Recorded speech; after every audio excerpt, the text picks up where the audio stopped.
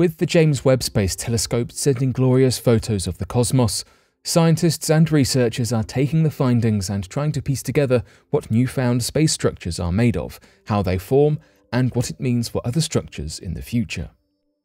So today, here at Unexplained Mysteries, we'll be taking a look at three amazing discoveries.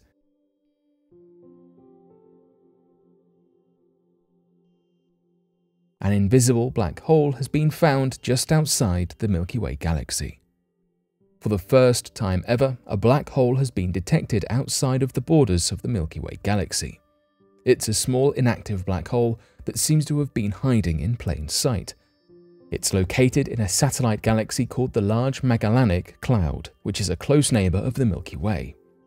Part of what makes this black hole discovery a big deal is that it could help scientists discover more black holes like it as well as give a better understanding of how black holes are formed.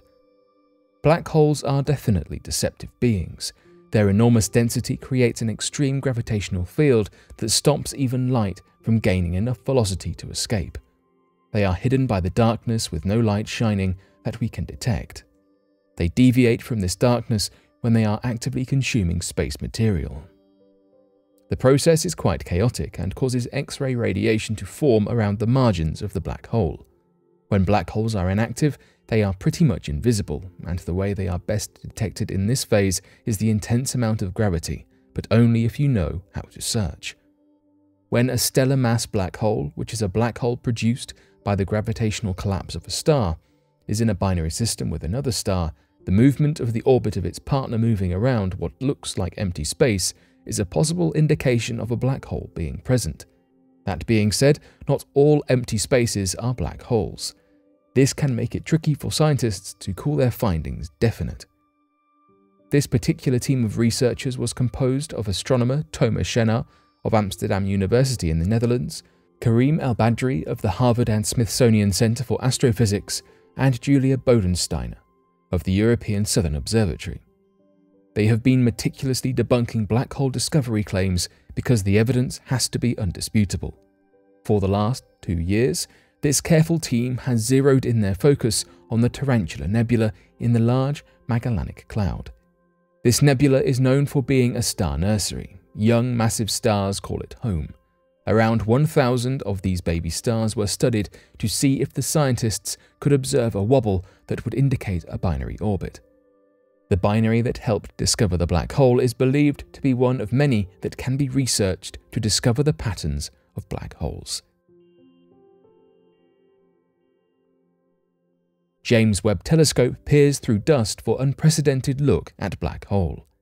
If you have been following any of the news surrounding the James Webb Space Telescope, your eyes have probably gazed upon the breathtaking photos being released by NASA.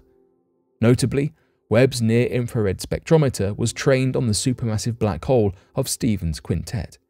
Stephan's Quintet can be viewed in one of the first five full color Webb images that were released on July 12th. The photo is of five galaxies that are neighbours with each other, and the fifth one is much closer to the Earth than the others. One of the ways the chemical makeup of space material can be determined is through light passes. Since James Webb's spectrometer breaks light into constituent wavelengths and different elements absorb light at determined wavelengths, the infrared spectrometer gathered a light spectrum from the supermassive black hole, even though it is surrounded by stardust.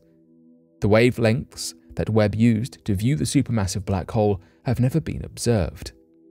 The result is they correspond to atomic hydrogen, molecular hydrogen, or two hydrogen atoms bound together and electrically charged iron ions in the gas surrounding the black hole. Because of these findings, scientists can map the gas structure being consumed by the black hole as well as any gases being excreted. Mighty streams of radiation are created by the extreme compression of gas and dust spiraling around the black hole. The near-infrared spectrometer is a very important apparatus for comprehending the chemical makeup of far-off objects. Scientists can use it to study stars, galaxies, and planets, as well as black holes. Unique triple star system might have swallowed a fourth star. NASA's Transiting Exoplanet Survey satellite detected a triple star system known as TIC 4707 10327. It's believed that up to 10% of star systems in the universe are triple star systems, according to NASA. They are really not an oddity. What makes this triple star system of particular interest is that it is unique from any previously discovered triple star system. This trio of stars is closer together and more massive than any other known triple star system. It's speculated that these three stars had a fourth star in their orbit at one point, but it was swallowed by one of its fellow stars. There is a hierarchical structure to this triple star system. A pair of binary stars moves in a circular motion in the middle of the system, and the third star orbits around them. The binary stars at the center of this triple star system together have a mass of about 12 times of the Sun. They take a little more than a day to orbit around each other. The larger outside star is about 16 times more massive than the Sun and revolves around the pair once every 52 days.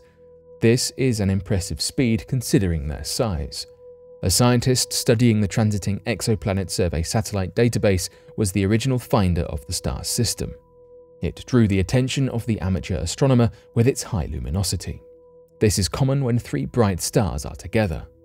When researchers assessed the data, it was realized that this was a triple star system. When they learned how large the stars are, the team of scientists put their efforts into figuring out how the atypical system might have formed. Three possible theories about the formation of the trio of stars in TIC 47071037 are on the table right now. The first and least likely to be true is that the outer star formed before the inner stars. This is debunked by the knowledge that the larger star would have absorbed any gases that would be the materials for the smaller stars to be born from. The second idea about how the triple star system was formed is that they all formed independently of each other and then came together through gravitational attraction. However, if this was the case, it's more logical that the larger star would be in the center.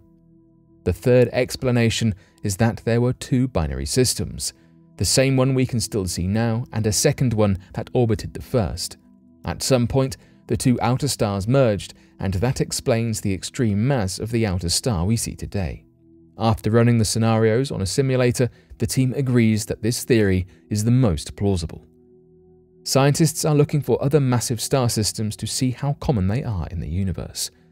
As we continue to explore, discover, and learn, we are creating a thrilling and dynamic database of information that will continue to serve us long into the future when it comes to the universe and its many mysteries. But what do you make of these discoveries?